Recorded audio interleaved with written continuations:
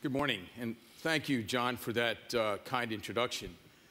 Um, we're fortunate to have uh, this distinguished panel of experts um, for today's session on how gene and cell therapies lead to disruptions in medical and surgical care, which can be transformative, as we saw in the video.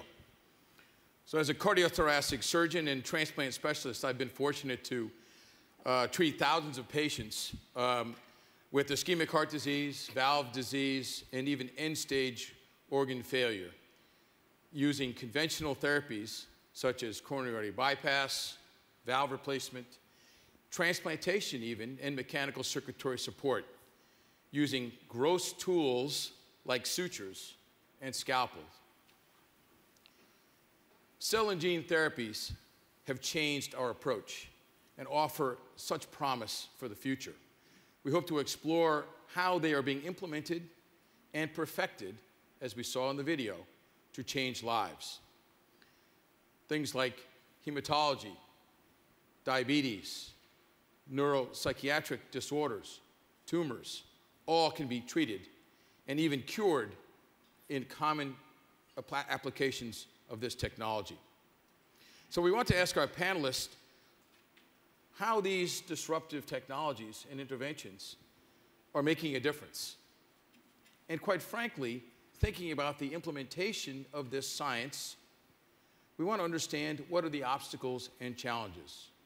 So we'll ask each of our panelists to introduce themselves and speak briefly about the technologies that they are exploring and how they are applying them and what are the obstacles in terms of where we go as we uh, discover new ways to treat disease. So I'll turn to Irina and ask her to introduce herself, and we'll, uh, we'll start the discussion. Irina? Thank you very much. Um, good morning, everyone. Uh, my name is Irina Antonievich. I'm the Chief Medical Officer and Head of R&D at Triplet Therapeutics. Triplet Therapeutics is a company in Cambridge, Massachusetts. We are developing novel therapeutics. We are focusing on nucleic acid therapeutics. Our lead candidate is an antisense oligonucleotide. And we are targeting an underlying common genetic mechanism that is responsible not only for one, but for multiple diseases. We call these diseases repeat expansion disorders. One of the most prominent uh, disorders among this sort of group is Huntington's disease, but there are other um, indications such as spinocerebellar ataxias and also myotonic dystrophy type 1. All of those disorders affect the brain to some extent, many exclusively, such as Huntington's disease, or predominantly, such as in Huntington's disease. So our goal was to administer an antisense oligonucleotide to those brain regions where this underlying common uh, genetic mechanism occurs. And we are not targeting the disease gene itself, but a mechanism upstream of the individual disease gene. Therefore, we can affect with the same molecule multiple repeat expansion disorders. So our first challenge was how do we make sure that our drug reaches the brain areas where it needs to exert its mechanism. So the general wisdom over the last few years has been that an antisense oligonucleotide for a brain disorder can be injected intrathecally. We have done our own research with an intrathecal injection, and we have found that actually such an administration does not lead to brain-wide delivery, in particular not to delivery to the deep brain areas. Uh, we have since then seen multiple uh, treatment failures with an intrathecally delivered ASO. We have switched, therefore, about two years ago to an ICV intracerebroventricular route of administration. Our current preclinical data show very clearly that this makes a fundamental difference. So an ASO is really readily taken up by brain cells, in particular by neurons. And once the ASO is delivered into the cerebroventricular space, it is taken up by those neurons in the deep brain areas and in animals, we have clearly shown in non-human primates uh, that we can deliver to those key brain areas and we can engage our target in a way that we think it's meaningful as we think of our clinical trial that we have planned to start um, this year. Great, thank you. Uh, Rachel? Yeah, good morning, everybody. My name is Rachel McMinn. I'm, I'm founder and CEO of Neurogene. Uh, I founded the company about four years ago uh, with the vision to treat devastating neurological diseases and was really uh, truly inspired by the Zolgensma paper um, that I'm sure many of you have read. And, and if you haven't seen the videos of these amazing children with spinal muscular atrophy who you know, have a normal lifespan of two years, um, and with this one genetic treatment are you know, running around hanging from monkey bars. It was just this kind of crystallizing moment for me in my career, uh, in my personal life, wanting to do something for uh, just these horrible, complex neurological diseases that really have had no treatments for decades. Uh, my brother is, is personally affected by debilitating rare neurological diseases, and that, that was really this, this moment for me to say, okay, I'm, I'm going to be part of this genetic medicine revolution. Uh, so we uh, started using AAV and, and developing lots of preclinical data. But it's interesting, you know, just piggybacking off of Irina, I think, you know, there's two really, really critical challenges in implementing going from this amazing, you know, almost case study with Zolgensma of just inspiring data uh, that was, you know, really just opened up the field like never before in terms of capital investment and lots of companies sort of following in footstep. I think a lot of a lot of people just sort of naively rushed in and said, okay, let's just copy and paste everything that was done with Zolgensma, no matter what the disease pathobiology. And as a result of that, I think you've seen the implementation has actually been much, much harder.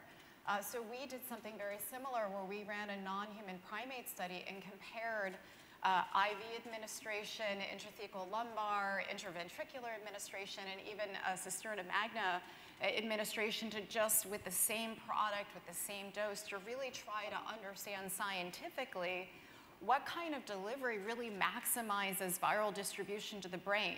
Because at the end of the day, if you're treating a CNS disorder, you know, IV is nice, but it's a one-time treatment. So, you know, uh, patients hopefully would understand and caregivers would understand if it was a more invasive treatment. And we also settled in on uh, intraventricular administration, as it turns out, because that uh, you know, really had the best, not just best biodistribution, but it's also the most commonly used procedure relative to cisterna magna, which has its own history and uh, you know, safety concerns associated with it. So delivery has been a huge focus for us as a company, uh, and we are going to be dosing our first patient hopefully soon. The second thing I would say is not just getting to the target tissues that you care about within the brain, uh, in our case, but also making sure that the transgene, so just you know, dumping a bunch of AAV into the brain, doesn't necessarily mean that it's going to be safe and efficacious. So some of the diseases that we're interested in treating, so for example, Rett syndrome is, is a highly dosage sensitive disorder. So if you get too much, it's very toxic. If you have too little, you have the disease of Rett syndrome. So we've developed a self-regulating gene therapy technology that really blunts the overexpression related toxicity. And I think you know, hopefully the field will be continuing to employ these types of methods as well as others to really deliver consistent levels of transgenes. So it's getting to the right tissue types, but then also getting the right set point so that you're in a therapeutic range that is not toxic. Um, so happy to talk about that further, but you know, we'll turn it over to Harith for, for his own challenges in other areas. Great, thank you. You're, you're really starting to examine the challenges of implementing great science. So, Harith? Uh, thanks for allowing me to be here. It's a real pleasure. I'm a Brigham trained cardiology fellow who became really passionate about the problem of type 2 diabetes because of the coexistence of type 2 diabetes and cardiovascular disease, because of the prevalence of type 2 diabetes in my family and in my patients. And one of the things that really began to bother me about 10 years ago is that everything that we're doing in type 2 diabetes is symptomatically treating the blood sugar condition, but is not really thinking hard enough about the root cause mechanisms that lead to type 2 diabetes in the body, which leads us to apply pharmacological solutions systemically. Now there are 60 approved drugs for type 2 diabetes, but the number of people who are inadequately controlled has never been larger. So the idea 10 years ago when we started Fractal is, is there a way to target root cause mechanisms in a way that may be broadly accessible for the masses of people who are not able to get their disease under control with pharmacology because the underlying disease is progressive despite the medicines that we take. Bariatric surgery was the inspiration for us because bariatric surgery can clearly be a single point in time intervention that can reverse type 2 diabetes and all of its related metabolic consequences virtually instantaneously. But amazingly, it's an intervention on the gut rather than on the pancreas or the other organs that we might otherwise have thought about. So that was the founding inspiration. We became um, sort of scientifically focused on understanding the mechanisms of the surgery and uncovered that there's a focal pathology in a region of the intestine bypassed by some of these surgeries that is a primary root cause driver of insulin resistance. And so then we became obsessed with how do we precisely target this focal pathology.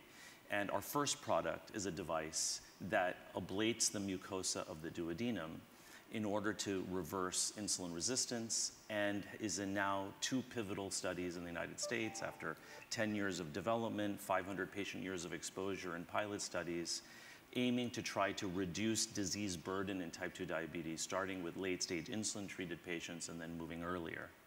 What that first device, which is called Revita, does not do is correct pancreatic failure at the end stage of type 2 diabetes. So the next question became how might we reverse islet dysfunction and pancreatic dysfunction in type 2 diabetes? And as and we too were inspired by some of the progress being made in gene therapy, and we became convinced that gene therapy for islet dysfunction is feasible, but it's principally a risk benefit calculus. And a lot of the risk in gene therapy ties to the biodistribution of the gene vector and product um, where you don't necessarily want it to go.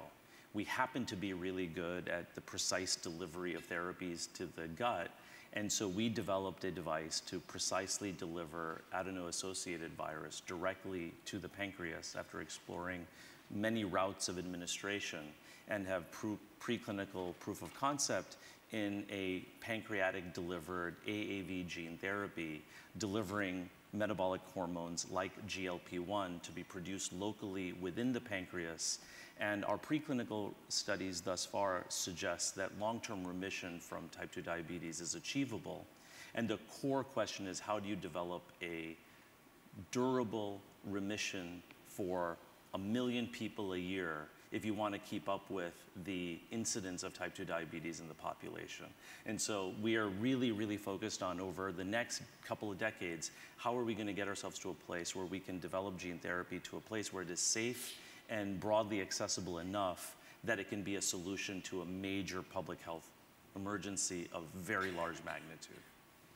Great, really exciting work and progress in terms of innovation uh, in that concept. Um, we also have joining us virtually uh, Bastiano Sanna, who has been working uh, in this space of cell and gene therapies for hemoglobinopathies, but also type 1 and type 2 diabetes. So, uh, Bastiano. Thanks for the for the intro. I'm sorry I have to be here virtually. Something that um, I, I had hoped was not uh, was not the case, but um, we live in these times. And um, so, first of all, uh, I am uh, um, the chief of seven gene therapies at uh, Vertex. Um, we have a large uh, program in cell and gene uh, from, uh, like you said, hemoglobinopathies, where we use gene editing to precisely and um, fix some of the issues with, with, um, with sickle cell and beta thal. Uh, we have uh, a stem cell program for type 1 diabetes. So it's not type 2. You know, uh, we, will we'll, uh, we'll, we'll, focus on type 1. And then we have uh, a gene therapy for um, Duchenne dystrophy and um, DM1.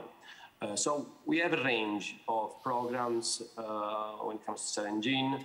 We have autologous cell therapy, like for um, for hemoglobinopathies, we have uh, uh, allogeneic off-the-shelf stem cell derived um, therapies for type 1 diabetes. We have uh, AAV9 mediated uh, editing for um,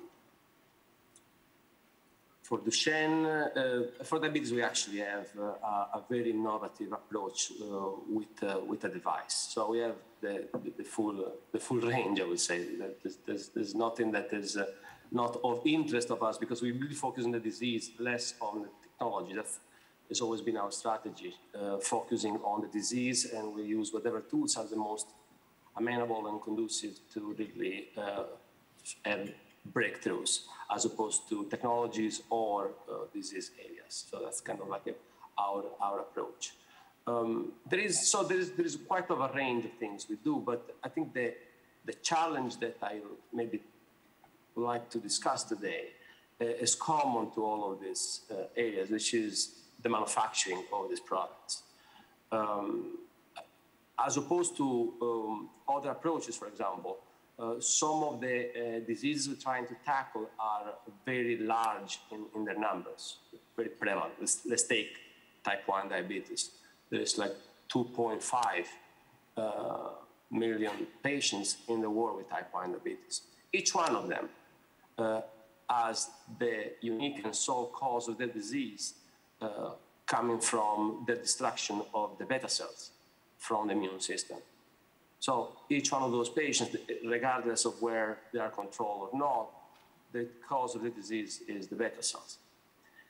So we found a way, you know, uh, starting many years ago uh, with the studies that uh, uh Doug Melton started at, uh, at um, at Harvard, then they were perfected at a, a company called Semma Therapeutics, of which I was the CEO. And now at Vertex, we found a way of making those cells, the beta cells in the lab in industrial quantities.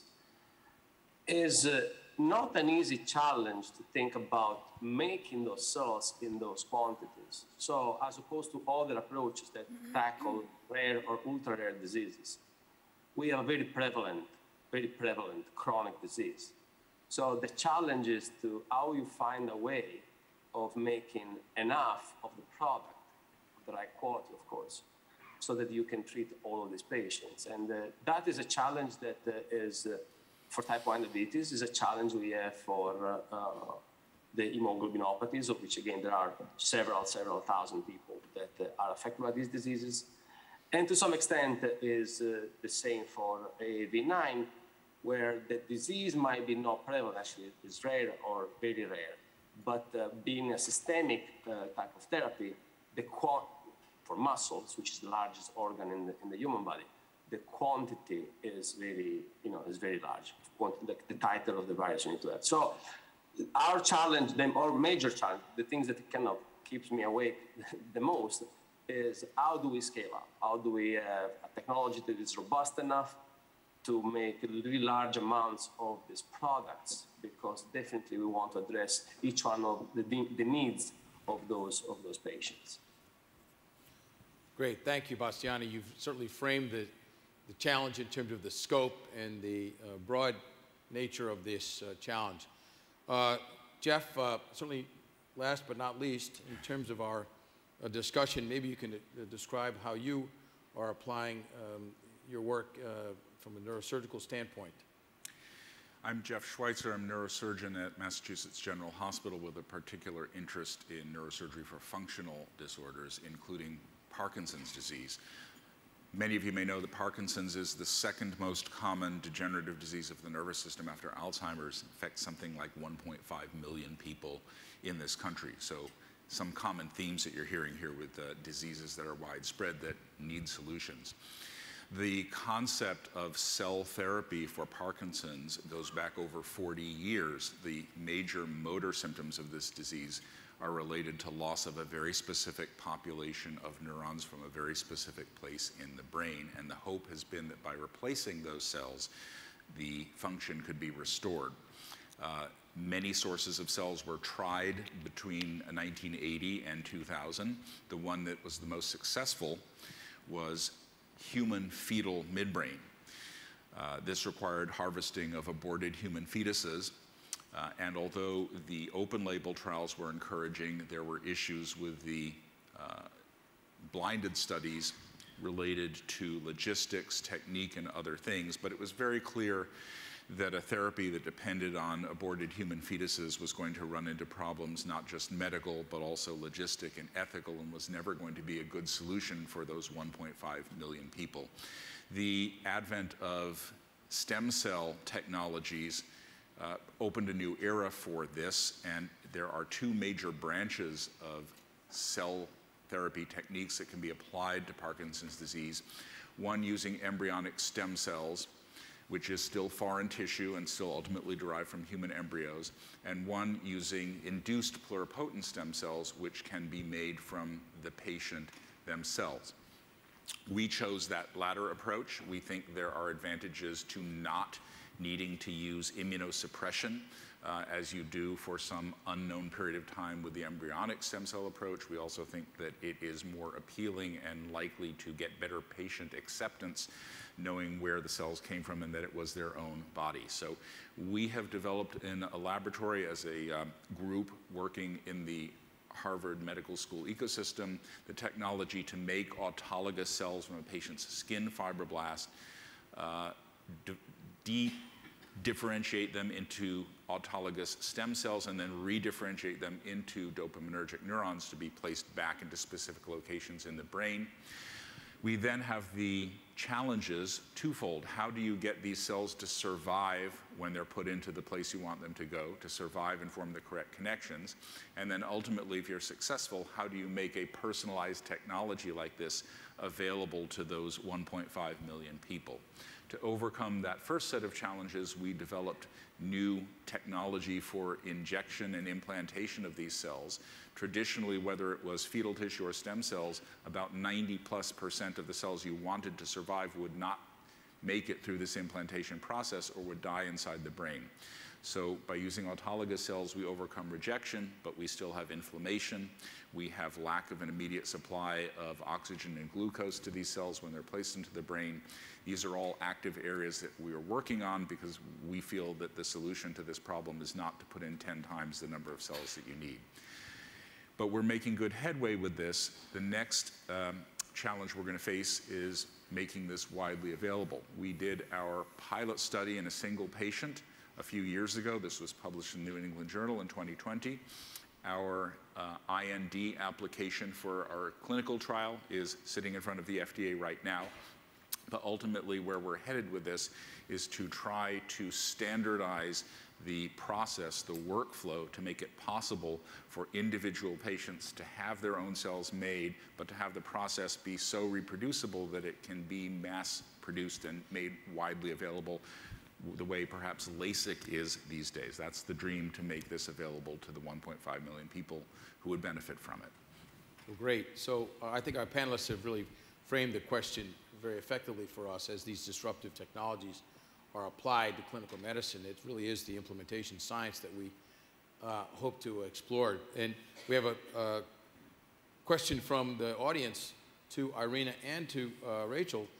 As uh, ICV delivery is invasive for patients requiring a burr hole, uh, Jeff, this is uh, also inclusive of, of your specialty.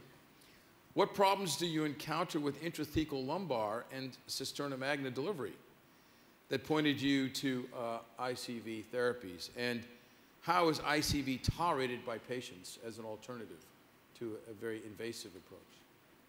Should I start? Sure.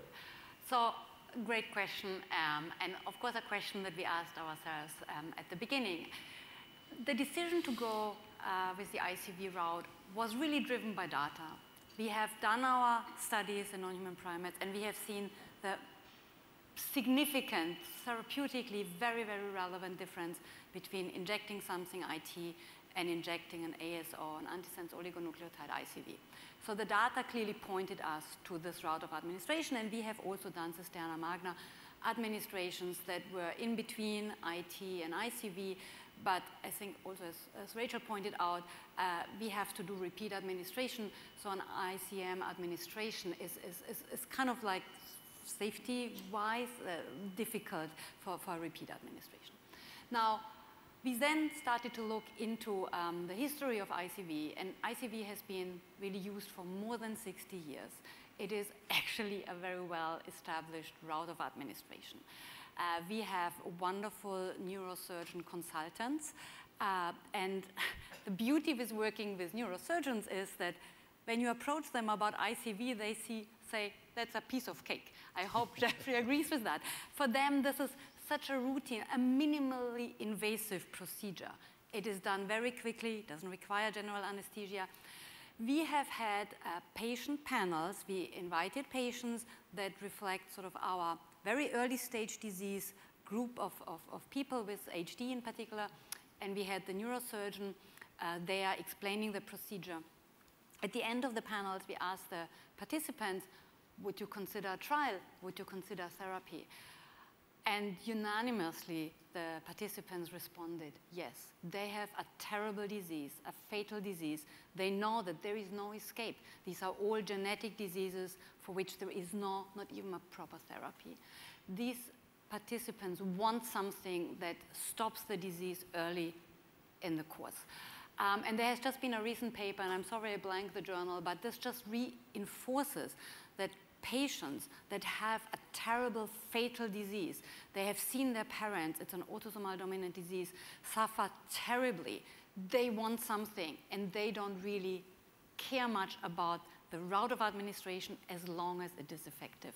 And since then, I do want to stress that we have learned that repeat intrathecal administration not only do we believe based on our data and published data doesn't get to the deep brain, it is not convenient for patients either. We have seen that there is an inflammatory signal in the CSF.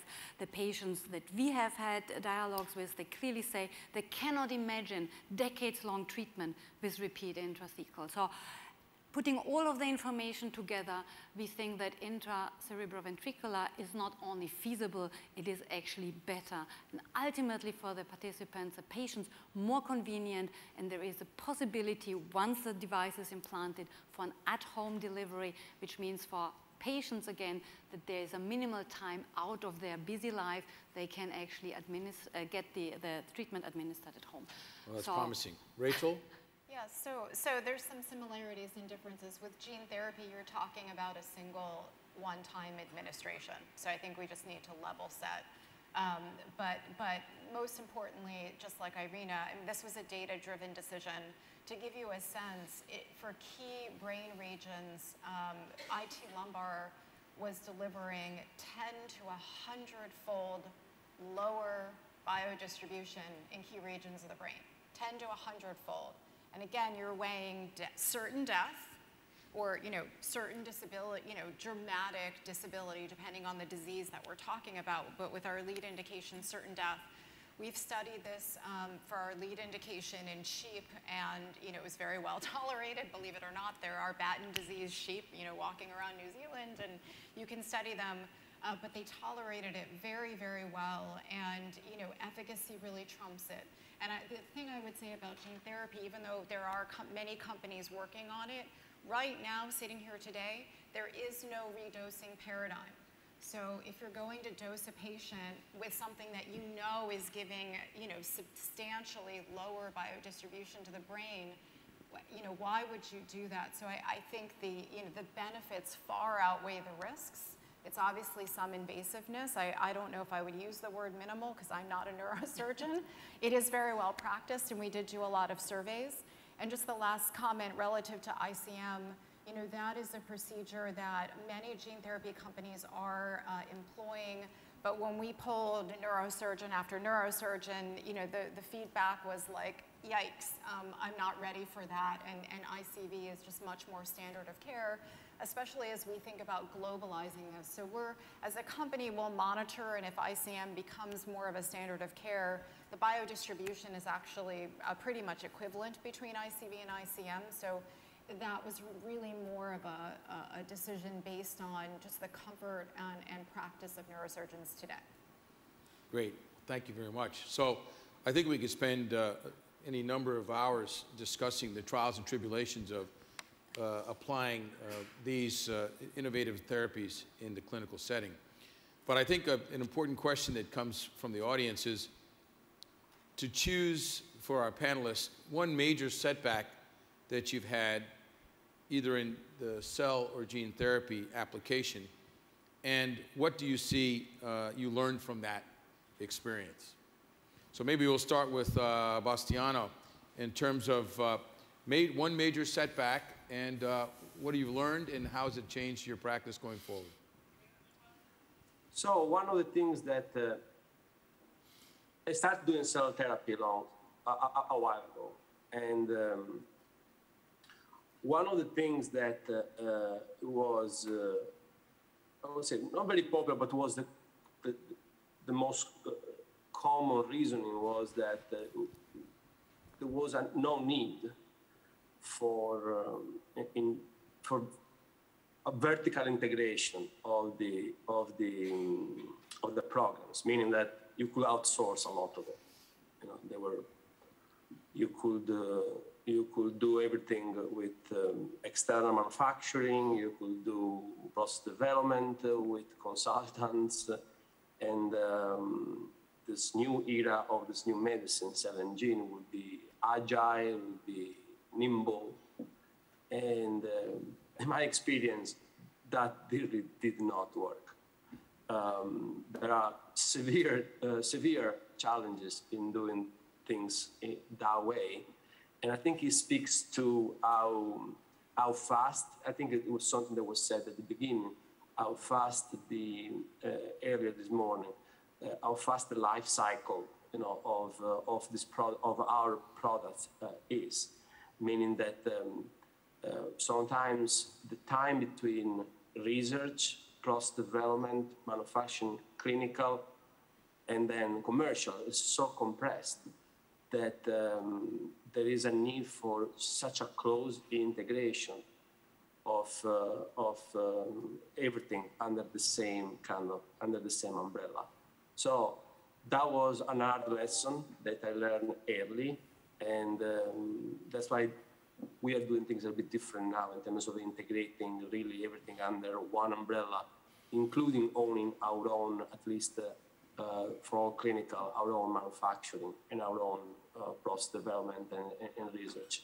That's, that was something that um, um, I had to learn the hard way. Uh, I think uh, I think most of us that do cell and gene have been uh, in the situation of technology transfer gone awfully wrong.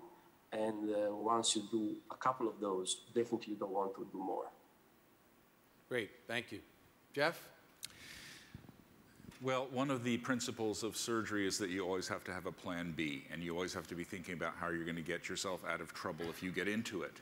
The major problem that we have is that these cells are going to be permanently implanted into patients. You can't turn them off or take them out again, and so uh, making certain that they are clinical grade and safe is of the utmost importance, and that includes with stem cell technology being absolutely certain that they cannot develop into teratomas or other tumors. What we found with our autologous approach is that there are likely patients who are simply not candidates for this. Uh, we did a study looking at the ability of fibroblasts from different patients to undergo this process and found that there were some people who have developed so many somatic mutations in their cells that we simply could not generate safe lines from them. Uh, so it becomes clear that between the reprogramming, the passaging, and the processing, there are going to be some patients who need things like embryonic stem cells that are a single standardized product.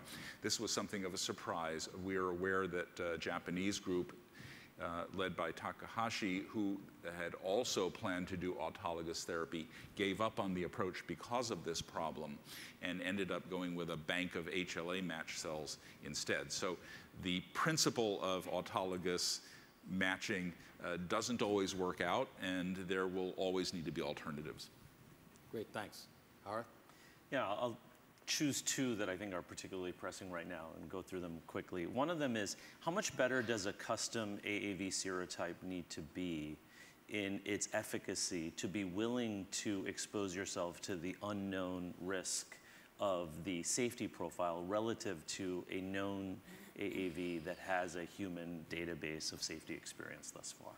You know, I think that that's a, that's a fundamental question that, for which there is no good answer because you're taking um, something that is known, that is for which there's a lot of experience and regulatory comfort versus something that is unknown may be better, and how much better does it need to be? Um, that's, that's a question that we're tackling right now. A second question is really um, more of sort of like a financing strategy and strategic question. Yesterday, there was a panel about um, capital formation around gene therapy. And we have a pipeline product in gene therapy. It's not our first product. It's, it's something that's sitting behind it. It's not going to get as much capital as the first one. And do you spin it out and then make sure that it has the capital that it needs? And one of the reasons why we have not done that yet is because it's almost inevitable that in the development of these things, you're going to encounter challenge after challenge after challenge. And you can't tackle all of these challenges at the same time. Some of them are sequential learning events that need to be de-risked systematically. So one of the actually weird benefits of having this be a pipeline product for us is that we just know there's going to be six or seven challenges before we get into the clinic. And because it's not something that the market is expecting us to deliver on by a certain date, that we feel like we have the benefit of taking the time to get it right. And the fact that it's not our lead program and is not valued in a way that people are expecting to see X by Y date actually ends up being an advantage for us because it allows us to be methodical. Whereas if it were what, the one thing that we had, we would be forced to cut corners in the rush to achieve with the capital that's been allocated to us. Great. Yeah, I would say in terms of you know ma major setback, uh, they are common, common in the industry, and and I think that the company that you know how you face those those challenges really determines who you who you are as a company. Uh, very early on, uh, as we were progressing towards what we thought was an IND, uh, we discovered that uh, one of our plasmids was riddled uh, with deletions. Uh, in a key area. And you know, this was just scientific evidence, and we had a whole debate of what do we do? Do we move forward? And and we found the answer was, you know, we're not helping anybody by introducing an unstable plasmid that could end up with like much longer term consequences. So it was very painful, um, but it was an important uh, learning for us that we needed to do a lot more quality control. Earlier on, we had licensed a lot of, you know, programs initially from, from academic institutions. We've since transitioned to have our own design and analytical capabilities internally. So it's made us stronger as a company, but we did have to go back to our board and our investors and delay, you know, capital coming into the company as a result of making this important, uh, what we thought was like the right decision for the longer term. But, you know, those are the types of, of challenges that I think, you know, everybody faces something along those lines. And, and that was, you know, manufacturing is just still in its infancy. And really bringing in analytics much earlier into the process, as you heard from Dr. Marks uh, from the FDA yesterday, uh, is, is critical if you're in the gene, uh, and I'm sure cell therapy space as well. Thank you. Yeah, I will be brief. Uh, what we have come to appreciate is when you administer ASOs, that there is something that is related to the total amount of ASO you do administer, and this um, impacts both the amount you administer in one dose, but also the so-called loading dose paradigm.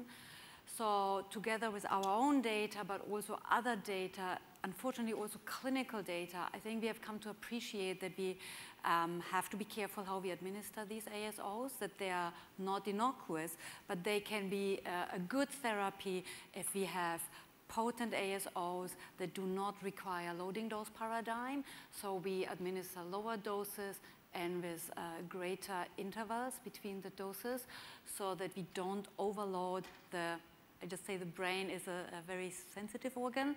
Um, and so this is uh, where we can find the right dose range. Um, and so we have come to appreciate this as we have done our preclinical studies. Great. Well, we really have uh, learned uh, many great lessons from our panelists. Um, probably um, those of you in the audience could probably uh, repeat some of them um, for us. I think we, uh, there's extraordinary excitement about cell and gene therapy, uh, real kinetic energy, um, but what we're hopeful is we can turn that into uh, true electricity to help improve patients' uh, lives. Uh, what we learned is that the transparency um, for the fall, the failures, is as important as the success. And uh, sharing them widely and acknowledging them is really important. So uh, on behalf of uh, um, Mass General Brigham and um, all of you who participated, I want to say congratulations to the organizers and thank you for the opportunity to share uh, some reflections uh, about the uh, really extraordinary potential of cell and gene therapy. And thank you so much. Thank you to the panelists.